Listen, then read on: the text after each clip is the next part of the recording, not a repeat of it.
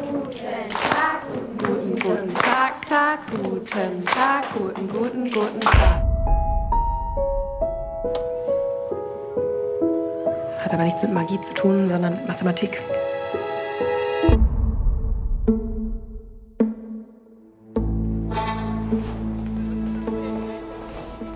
Frau Kuhn, ich äh, habe ein riesiges Problem. Ey, jetzt lass doch mal los! Haben Sie einen Beweis? Wir können mit dir nicht darüber reden, Oskar.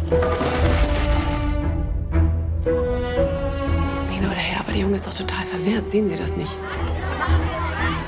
Wir sind diejenigen, die verwirrt sind. Die Eltern haben doch ein Recht darauf zu erfahren, was wirklich passiert ist. Ich kann schon verstehen, dass das alles ein bisschen viel für Sie ist. Vielleicht sind Sie auch überfordert. Hey! Bespitzelung, Denunziation, Verleumdung, Rufmord.